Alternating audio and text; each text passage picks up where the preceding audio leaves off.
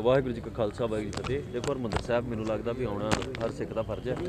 ਅਸੀਂ ਸਤਿਗੁਰੂ ਸੱਚੇ ਪਾਤਸ਼ਾਹ ਸ਼ੁਕਰਾਨਾ ਉਦਨ ਕਰਨਾ ਹੈ ਸੀ। ਅੱਜ ਫਿਰ ਮੱਥਾ ਟੇਕਣ ਦਾ ਜਿਹੜਾ ਇਰਾਦਾ ਸੀ।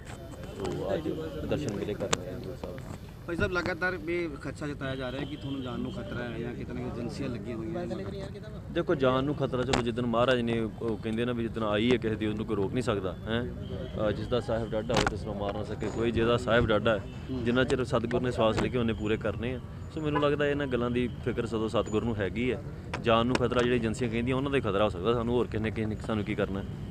ਤੇ ਭਾਈ ਸਾਹਿਬ ਅ, ਦਰਬਾਰ ਸਾਹਿਬ ਹਰਮੰਦਰ ਸਾਹਿਬ ਨਤਮਸਤਕ ਹੋਣ ਲਈ ਪਹੁੰਚੇ ਹੋ। ਪਹਿਲਾਂ ਵੀ ਪਹੁੰਚੇ ਸੀ ਤੇ ਕਿਤੇ ਨਾ ਕਿਤੇ ਅ, ਕਾਫੀ ਵਿਵਾਦ ਬਣਿਆ ਕਿ ਭਾਈ ਅਮਰਤਪਾਲ ਸਿੰਘ ਹਥਿਆਰ ਲੈ ਕੇ ਅੰਦਰ ਪਹੁੰਚੇ ਨੇ ਜਾਂ ਬਾਕੀ ਜਿਹੜੇ ਨਹੀਂ ਲੋਕ ਉਹ ਨੇ, ਮੈਂ ਤੁਹਾਨੂੰ ਦੱਸਾਂ ਇੱਕ ਗੱਲ। ਦੇਖੋ ਆਪਾਂ ਨੂੰ ਗੁ- ਗੁਰਦੁਆਰੇ ਦੀ ਪਰਿਭਾਸ਼ਾ ਨੂੰ ਸਮਝਣਾ ਚਾਹੀਦਾ। ਅਕਾਲ ਤਖਤ ਸਾਹਿਬ ਸਿੱਖਾਂ ਦੀ ਰਾਜਸੀ ਤਾਕਤ ਜਿਹੜੀ ਆ ਉਹਦਾ ਮੁਜਸਮਾ ਹੈ। ਅਕਾਲ ਤਖਤ ਸਾਹਿਬ ਦੇ ਉੱਤੇ ਜਿਹੜਾ ਵਾ ਸਾਨੂੰ ਜਿਹੜਾ ਮੀਰੀ ਤੇ ਪੀਰੀ ਦਾ ਸਿਧਾਂਤ ਹੈ। ਸਤਿਗੁਰੂ ਸੱਚੇ ਪਾਤਸ਼ਾਹ ਨੇ ਆਪ ਸ਼ਸਤਰਾਂ ਦੇ ਪ੍ਰਕਾਸ਼ ਕੀਤੇ ਨੇ। ਗੁਰੂ ਸਾਹਿਬ ਦੇ ਸਾਹਮਣੇ ਸ਼ਸਤਰਾਂ ਦਾ ਪ੍ਰਕਾਸ਼। ਮੇਰੇ ਖਿਆਲ ਨਾਲ ਇਹ ਖੁਸ਼ੀ ਦੀ ਗੱਲ ਹੈ ਸਿੱਖਾਂ ਵਾਸਤੇ ਵੀ ਅਸੀਂ ਆਪਣੀ ਰਵਾਇਤ ਵੱਲ ਮੋੜ ਰਹੇ ਹਾਂ। ਔਰ ਜਿਹਨੂੰ ਨਹੀਂ ਸਮਝ ਆਉਂਦੀ, ਉਹਨੂੰ ਇਹ ਸਮਝਣਾ ਚਾਹੀਦਾ ਵੀ ਸਿੱਖੀ ਇੱਕ ਵੱਖਰਾ ਧਰਮ ਹੈ। ਇਸੇ ਗੱਲ ਦੀ ਤਾਂ ਮੁਸ਼ਕਲ ਹੈ।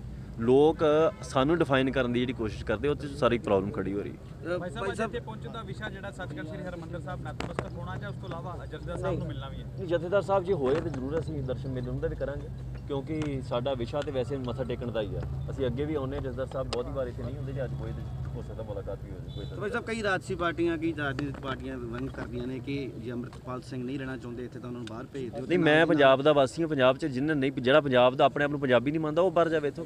ਅਸੀਂ ਕਿਉਂ ਬਾਹਰ ਜਾਈਏ? ਸਾਡੀ ਧਰਤੀ ਹੈ। ਅਸੀਂ ਹੁਣ ਇੱਥੇ ਕਾਗਜ਼ਾਂ ਪੱਤਰਾਂ ਕਰਕੇ ਥੋੜੀ ਸਾਡੀ ਧਰਤੀ ਸਾਡੇ ਪੁਰਖਿਆਂ ਲਹੂ ਡੋਲਿਆ। ਉਹ ਤੋਂ ਵੱਡਾ ਕਿਹੜਾ ਕਾਗਜ਼ ਹੁੰਦਾ? ਸੋ ਜਿਹਨੂੰ ਤੰਗੀ ਹੋ ਜਾਵੇ ਬਾਹਰ ਅਸੀਂ ਕਿੱਥੋਂ ਜਾਣਾ? ਜਾਂਚ ਕਮੇਟੀ 16 ਮੈਂਬਰੀ ਬਣੀ ਆ ਉਹ ਮੈਂਬਰੀ 6 ਤਰੀਕ ਨੂੰ ਹੁਣ ਜਵਾਬ ਦੇਗੀ ਆਪਣੇ ਲਿਖਤੀ ਕੇਸਗੜ੍ਹ ਸਾਹਿਬ ਦੇ ਵਿਖੇ। ਜੇ ਤੁਹਾਨੂੰ ਬੁਲਾਇਆ ਜਾਏਗਾ ਜਾਓਗੇ ਉੱਥੇ। ਜੀ ਬਿਲਕੁਲ ਜੀ ਜੇ ਅਕਾਲ ਤਖਤ ਸਾਹਿਬ ਕਿਤੇ ਵੀ ਬੁਲਾਉਣਗੇ ਆਪਾਂ ਜਾਵਾਂਗੇ। ਆਪਾਂ ਅਕਾਲ ਤਖਤ ਸਾਹਿਬ ਤੋਂ ਭਗੌੜੇ ਨਹੀਂ ਹਾਂ। ਇਹ ਜ਼ਰੂਰ ਹੈ ਵੀ ਅਸੀਂ ਸਿਧਾਂਤਕ ਤੌਰ ਤੇ ਜੇ ਸਾਨੂੰ ਕੋਈ ਗਲਤ ਸਾਬਤ ਕਰ ਦੇਵੇ ਤੇ ਅਸੀਂ ਨੀਵੇਂ ਹੋਣ ਨੂੰ ਤਿਆਰ ਹਾਂ ਪਰ ਉਹ ਸਾਨੂੰ ਸਤਿਗੁਰੂ ਤੇ ਭਰੋਸਾ ਹੈ ਗੁਰੂ ਤੁਹਾਡਾ ਸਾਹਿਬ ਪੱਕ ਉਹੀ ਰਹੇਗਾ ਕਿ ਤੁਸੀਂ ਜਦੋਂ ਸ਼ੁਰੂ ਜੋ ਪੱਖ ਜੋ ਦੇਖੋ ਮਰਿਆਦਾ ਦੇ ਤਹਿਤ ਜੋ ਕੁਝ ਹੈ ਉਹ ਪਿੱਛੇ ਸਾਡੇ ਕੋਲ ਇਤਿਹਾਸਕ ਹਵਾਲੇ ਨੇ। ਸੰਤ ਕਰਤਾਰ ਸਿੰਘ ਤੋਂ ਲੈ ਕੇ ਵਰਲਡ ਵਾਰਾਂ ਦੇ ਵਿੱਚ ਜੋ ਕੁਝ ਹੋਇਆ ਸਾਰੇ ਸਾਡੇ ਕੋਲ ਹਵਾਲੇ ਨੇ। ਸੋ ਇਸ ਕਰਕੇ ਅਸੀਂ ਆਪਣਾ ਪੱਖ ਰੱਖਾਂਗੇ ਉਹ ਆਪਣਾ ਰੱਖਣਗੇ। ਮਤਲਬ ਕਹਿੰਦੇ ਗੱਡੀ ਬੀਜੇਪੀ ਕਿਸੇ ਆਗੂ ਦੀ ਸਮਰਥਕ ਉਹ ਮੇਰੇ ਖਿਆਲ ਨਾਲ ਕਲੀਅਰ ਹੋ। ਗਿਆ ਤੁਸੀਂ ਮੀਡੀਆ ਇਨਵੈਸਟੀਗੇਟ ਕੀਤਾ। ਉਹਨੇ ਵੀ ਕਹਿਤਾ ਮੈਂ ਏਜੰਸੀ ਨੂੰ ਵੇਚੀ ਸੀ ਏਜੰਸੀ ਤੋਂ ਅੱਗੇ ਜਿਹਨੇ ਖਰੀਦੀ ਉਹਨੇ ਵੀ ਸਾਹਮਣੇ ਆਣ ਕੇ ਕਹਿਤਾ ਮੈਨੂੰ ਲੱਗਦਾ ਵੀ ਇਹ ਬਹੁਤ ਛੋਟੇ ਕਿਸਮ ਦੇ ਵਿਵਾਦ ਹੈ। ਗੱਡੀ ਕਿੰਨੇ ਖਰੀਦੀ ਕਿੰਨੂੰ ਵੇਚੀ ਹੈ? ਗੱਡੀ ਪੰਥ ਦੀ ਹੈ।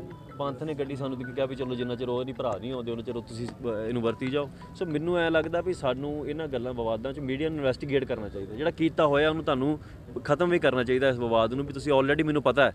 ਸਾਰੇ ਚੈਨਲਾਂ ਨੇ ਤਕਰੀਬਨ ਉਹਦੀ ਜਾਂਚ ਕੀਤੀ ਹੋਈ ਹੈ ਵੀ ਕਿੱਥੋਂ ਗੱਡੀ ਆਈ ਕਿਵੇਂ ਆਈ ਤਾਂ ਉਹਦੇ 'ਚ ਮੈਨੂੰ ਲੱਗਦਾ ਵੀ ਕੇਂਦਰ ਕਹਿੰਦੀ ਹੈ ਕਿ ਮੁੱਖ ਮੰਤਰੀ ਮਿਲੇ ਨੇ ਬੀਤੇ ਕੱਲ ਕਾਫੀ ਮਾਮਲਾ ਵੇਖਿਆ ਗਿਆ। ਝਾਰਖੰਡ ਦਾ ਕਾਂਦਰੇ ਹੋਏ ਕਿ ਨਾਲੇ ਵਿਖੇ ਜੋ ਘਟਨਾ ਹੋਈ ਉਸ ਨੂੰ ਲੈ ਕੇ ਏਜੰਸੀਆਂ ਕੇਂਦਰ ਤੇ ਪੰਜਾਬ ਦੀਆਂ ਸੂਬੇ ਦੇ ਇਕੱਠੀ ਹੋਈਆਂ ਨੇ। ਚੰਗੀ ਗੱਲ ਹੈ, ਉਹਨਾਂ ਨੂੰ ਇਕੱਠੇ ਹੋਣਾ ਚਾਹੀਦਾ। ਹੈ। ਮੈਨੂੰ ਲੱਗਦਾ ਪੰਜਾਬ ਦੇ ਵਿੱਚ ਜੇ ਇਕੱਠੇ ਹੋ ਕੇ ਨਸ਼ਾ ਖਤਮ ਕਰ ਦੇਣ ਤੇ ਚੰਗੀ ਗੱਲ ਹੈ। ਪੰਜਾਬ ਦੇ ਵਿੱਚ ਜੇ ਕੋਈ ਨਸ਼ਾ ਖਤਮ ਹੁੰਦਾ ਹੈ ਪੰਜਾਬ ਦੀ ਜੇ ਕੋਈ ਪਾਣੀਆਂ ਦੀ ਮੰਗ ਮ- ਮੈਨੂੰ ਲੱਗਦਾ ਮੁੱਖ ਮੰਤਰੀ ਸਾਹਿਬ ਨੇ ਕੀਤੀ ਹੋਣੀ ਬੰਦੀ ਸਿੰਘਾਂ ਨੂੰ ਰਿਹਾਅ ਕਰਨ ਦੀ ਮੰਗ ਵੀ। ਤੇ ਜੇ ਇਹਨਾਂ ਵਧੀਆਂ ਦੀ ਗੱਲ ਹੁੰਦੀ ਵਧੀਆ ਗੱਲ ਹੈ, ਕੇਂਦਰ ਤੇ ਪੰਜਾਬ ਰਲ ਕੇ ਕੰਮ ਕਰਨ। ਸਰ ਭਾਜਪਾ ਇੰਟੈਲੀਜੈਂਸ ਸਾਹਿਬ ਦਾ ਕਹਿਣਾ ਕਿ ਅਮਰਪਾਲ ਤੇ ਵੱਡੀ ਕਾਰਵਾਈ ਹੋਣੀ ਚਾਹੀਦੀ ਜਿਸ ਜਿਸ ਹਿਸਾਬ ਦਾ ਜਿਹੜਾ ਖਰਾਬ ਹੋਇਆ। ਦੇਖੋ ਜਿਹੜੇ ਸਾਡੇ ਵਿਰੋਧੀ ਹਨ ਰਾਜਨੀਤਿਕ ਤੌਰ ਤੇ।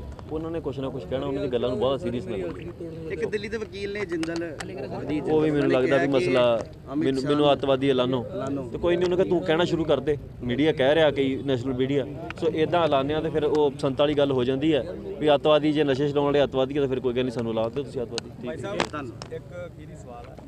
ਪਿਛਲੀ ਵਾਰ ਜਦੋਂ ਨੂੰ ਅਹ, ਮਤਲਬ ਆਪਣੇ ਆਪ ਦੇ ਲੋਕਾਂ ਦੇ ਵਿੱਚ ਰੱਖਣਾ ਚਾਹਿਆ ਤਾਂ ਉਹ ਵੀ ਕੇਂਦਰ ਸਰਕਾਰ ਨੇ ਕਿਸੇ ਕਰੋ ਯਾਰ ਥੱਲੇ ਕਰੋ ਯਾਰ ਮਾਰ ਦਿੱਤਾ ਗਿਆ। ਸੋ ਥ੍ਰੈਟ ਆ ਰਹੇ ਨੇ ਕਈ ਚੈਨਲਾਂ ਵਾਲਿਆਂ ਵੀ ਇਹ ਚੀਜ਼ ਚਲਾਈ ਤੁਹਾਨੂੰ ਵੀ ਕੋਈ ਗੱਲ ਨਹੀਂ ਦੇਖੋ ਮੈਂ ਕਹਿੰਦਾ ਵੀ ਜਦੋਂ ਜਿਹਨੇ ਜਾਣਾ ਹੈ ਨਾ ਸੰਸਾਰ ਤੇ ਉਹਨੂੰ ਕੋਈ ਰੋਕ ਨਹੀਂ ਸਕਦਾ। ਸੋ ਸਤਿਗੁਰ ਸੱਚੇ ਪਾਤਸ਼ਾਹ ਦੀ ਕਿਰਪਾ ਦੇ ਸਦਕਾ ਜਿਨੇ ਸਵਾਸ ਉਹਨੇ ਲਿਖੇ ਨੇ ਉਹ ਤੋਂ ਵੱਧ ਨਾ ਘੱਟ ਇਹ ਦੁਨੀਆ ਦੇ ਉੱਤੇ ਕੋਈ ਬੰਦਾ ਨਹੀਂ ਜਿਹੜਾ ਇਹ- ਇਹਨੂੰ ਘਟਾ ਵਧਾ ਸਕੇ। ਸੋ ਜੇ ਉਹ ਕਿਤੇ ਗੁਰੂ ਤੇ ਭਰੋਸਾ ਰੱਖੀਏ ਤੇ ਫਿਰ ਤੇ ਕੋਈ ਗੱਲ ਨਹੀਂ। ਤੇ ਜਿਹੜੇ ਥ੍ਰੈਟ ਆ ਹੋਣ ਦੀ ਜਿਹੜਾ ਮਾਰ ਕੇ ਤੇ ਆਪਾਂ ਤੁਰ ਪਏ ਇੱਥੇ ਥ੍ਰੈਟ ਥਰੂਟੀ ਹੋਣੇ ਹੋਰ ਕੀ ਹੋਣਾ ਇੱਥੇ ਆਪਾਂ ਨੂੰ।